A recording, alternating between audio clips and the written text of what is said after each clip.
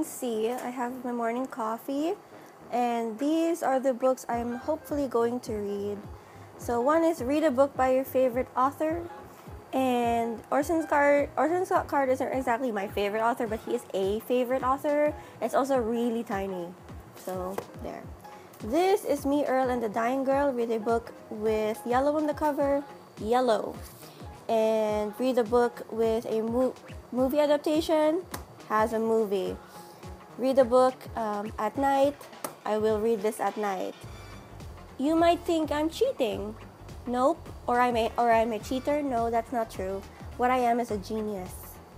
Also, I'm gonna try to finish this. I've only on chapter 12, so I need to get on that.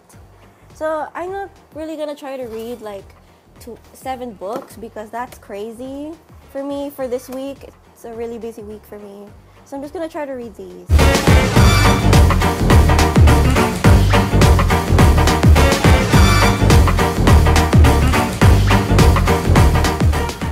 So I've got like two errands out of the way. I still have like a few more to get done, but this is sort of like my halfway checkpoint. Like, yay, I'm kinda done. Kinda.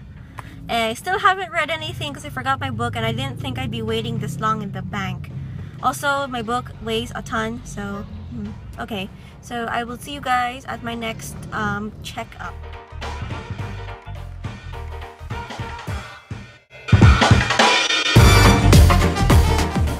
Hey, mommy. How's your day going? hey guys, so I'm home now. I'm gonna. Oh, hello. What's up? Yeah. I'm being recorded. Yes, it's on my vlog. Ah, hi vlog. Yeah. Stay cool. It's my roommate. It's Jake.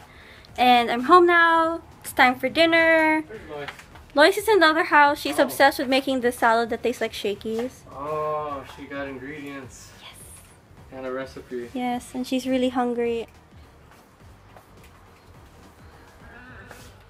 Anyway, yes, it's time to eat and whatnot. And I haven't been able to read at all because it's been a busy day. So that about wraps it up for Booktube-A-thon day one.